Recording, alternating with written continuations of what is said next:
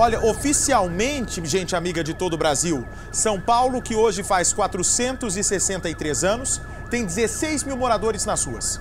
O número pode ser ainda maior porque nos últimos tempos a crise econômica empurrou muitas famílias para debaixo das pontes e viadutos da cidade.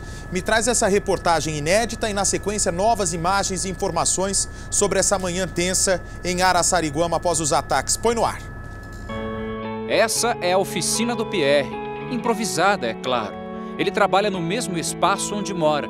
Com a paciência de um bom relojoeiro, faz os concertos em cima da cama mesmo.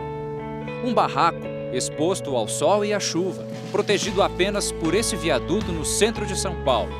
Eu saí de uma pensão na rua Santo Antônio, né? aí não tive condições, atravessamos a rua, a rua e estamos aqui. Faz quatro meses que o Pierre vive assim. Eu queria, queria estar num lugarzinho meu próprio. São vários os motivos que levam alguém para as ruas.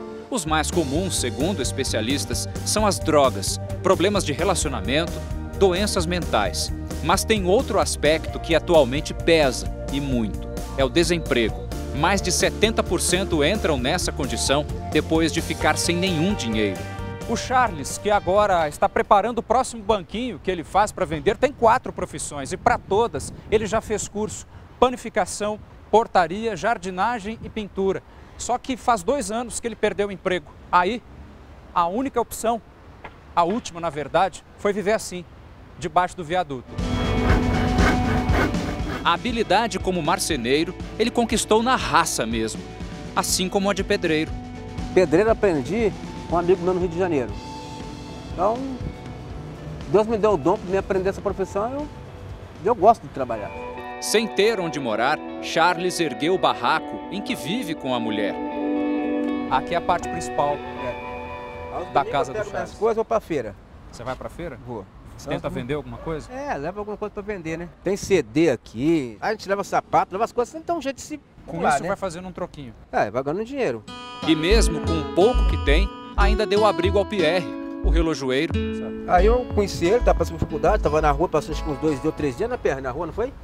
Aí eu, chegou, eu encontrei ele, eu falei, não, meu, vai lá pra casa, ela tem um continente, nós dorme lá. Aí se vira, faz uma cama, dá um jeito, dorme num lado, a gente dorme muito e vai assim. A prefeitura conta 16 mil pessoas em situação de rua. Quase 5% têm emprego, mas não ganham o suficiente para conseguir moradia. E 75% fazem alguma atividade autônoma. O restante não tem nenhum tipo de renda. A maioria dessa população é composta por homens. Homens que possuem o pouco que carregam e, para se abrigar do frio, dependem unicamente de sacos plásticos, cobertores, roupas de doações. Bens que, segundo o prefeito de São Paulo, João Dória, poderão ser recolhidos pela Guarda Municipal Metropolitana. É o que determina o decreto já assinado pelo prefeito na semana passada. O executivo retirou do texto original o trecho que proibia essa ação. Dória, no entanto, nega que tomará qualquer medida desse tipo. A dureza das ruas, o Charles conhece bem. É difícil, difícil, muito difícil mesmo, sabe? Porque a gente percebe várias coisas, porque tem muita gente maldosa nesse mundo. Algo que o Domingos também viu de perto, mas agora é diferente. Para ele, é mais um dia de trabalho, com muito o que fazer por aqui. Bota água, bota o copo, aí depois eu vou, eu vou varrer o galpão. Fico varrendo o galpão, aí recolho, boto no saco, recolho o lixo todinho, aí já vou pro segundo galpão. É, mas não foi sempre assim não. Há pouco mais de um ano, ele não tinha emprego, morava em albergue. E muitas vezes só matou a fome porque teve gente que ajudou com a comida. É humilhante, a pessoa vai pedir um prato de comer, sai daqui, É vai mesmo. trabalhar. Você já ouviu isso? Já. E pensar que no Nordeste ele tinha até casa própria, mas vendeu tudo para vir atrás da família em São Paulo.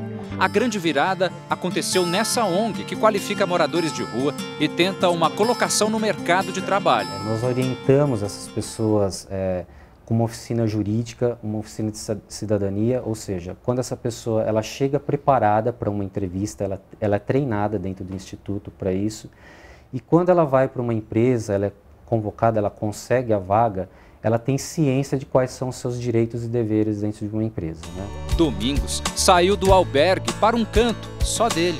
Ela levanta a minha estima, eu tenho vontade de, de, de viver mais. Você pode comprar, eu posso comprar minhas coisas, não está dependendo de ninguém. O Pierre, o Charles, ainda não chegaram lá, mas não estão parados, não. Eles só esperam que a situação melhore para arregaçar as mangas e seguir em frente. Fazer uma casinha, que seja desse tamanhozinho para morar, de um canto para me plantar o que eu quisesse plantar, feijão, abóbora, pepino, melancia, tudo. Para mim já não queria, não queria, não queria dinheiro, emprego. Para mim já estava suficiente.